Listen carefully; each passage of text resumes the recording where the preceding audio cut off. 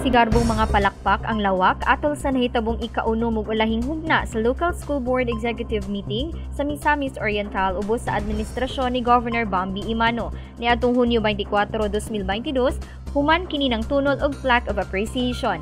Kini aging pagsaludo ni Governor Bambi sa kaikag ug dedikasyon sa pag-alagad sa tanang kasamtangan ug kanhing LSB members sulod sa siyam katuig nga pag-uban kaniya aron mahimong posible ang tanang mga plano o programa nga maoy taytayan sa nagmalambuon nga sektor sa edukasyon dinhi sa probinsya.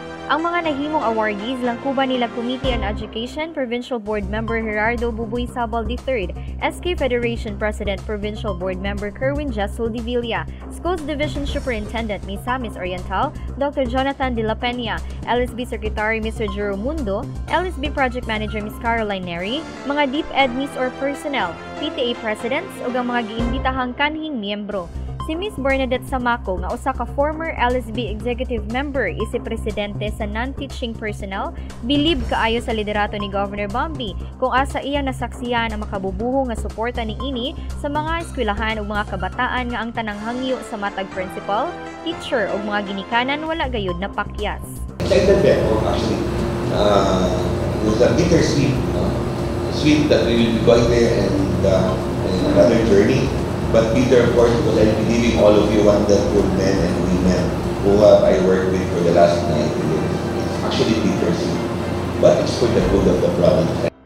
Dako sab kaayong pasalamat sa tanang gihatagan og pasidungog tungod kay wala nila damha nga nakitaan sila og igong bili sa amahan sa lalawigan nga malakip sa maong pag-ila nga mihatag gayud og inspirasyon ug kumpiyansa kanila. Well, it's actually not the end, and uh, we still have a long way to go. Emosyonal apan mapasalamaton gayud kaayo si Governor Bambi manong ngadto na sa Misamis Oriental Local School Board human sa mahinungdanon nga siyam katuig nga paghatod sa mga batakang serbisyo ngadto sa pagpalambo sa natad sa edukasyon ug matud pa niya wala din hinahunong ang tanan. Kauban si Edgar Abejo sa kamera ako si Lambert Rajian Amor Maygay alang sa Miss Or Balita.